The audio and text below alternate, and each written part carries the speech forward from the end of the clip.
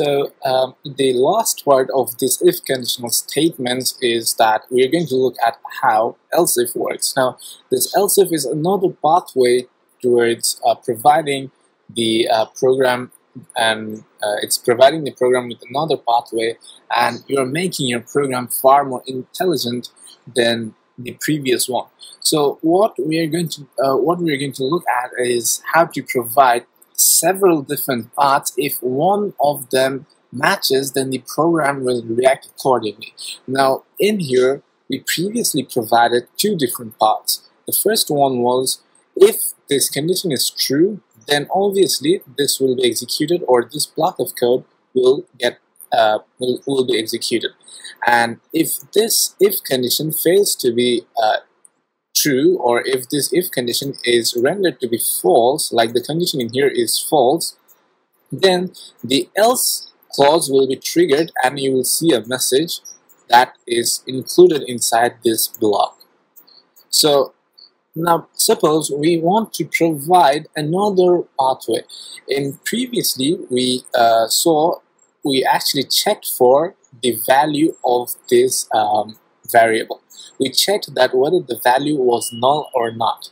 So suppose if we uh, also want to check that whether the value that is stored inside it, inside this variable is a string or not. So if we want to use that, we need to use something like uh, we need to use a function known as isString.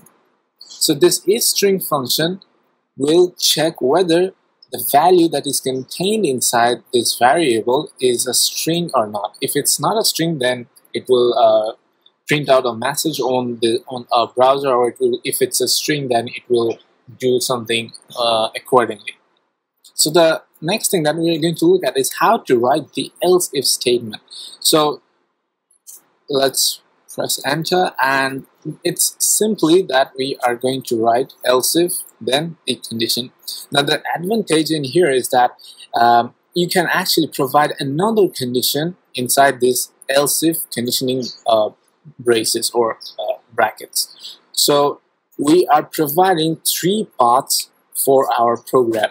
So the program will actually come when when the when you start executing this script. It will first start from this if clause.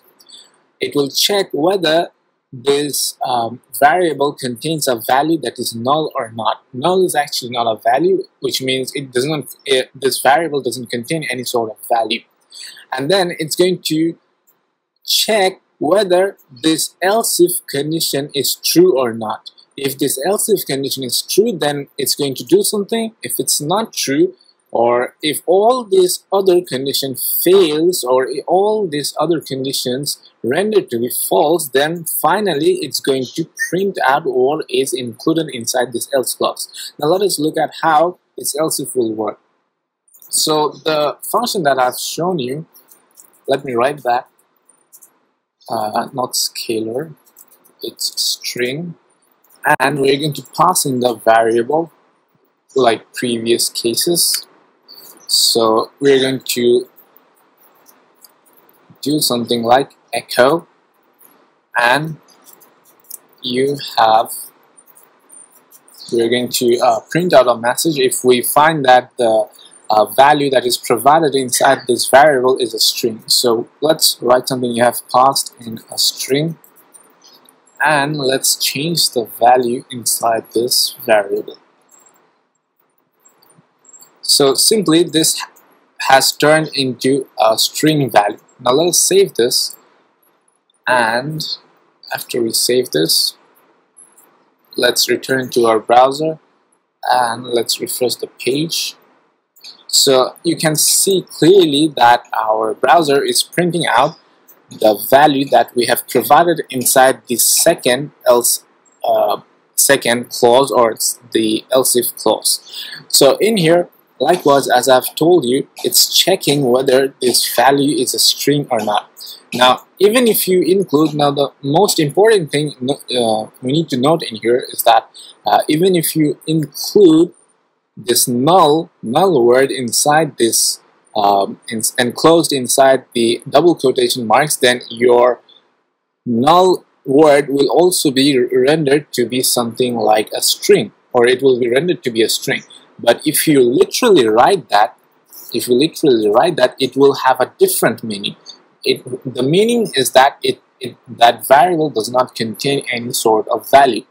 But if you write that null inside is uh, inside uh, double quotation marks, it's something like it's considered something like an English word or a literal word uh, by your compiler. So if even if you write like even if I write like uh, my name is Nafis. So I wrote my name and this is actually a sentence. So this will be considered to be a string. This will be uh, this will be printed out as it is using uh, when your browser renders out the output on itself. So this thing is actually similar to writing this. So whatever you uh, put inside those uh, quotation, double quotation marks, your browser will always print them as they are.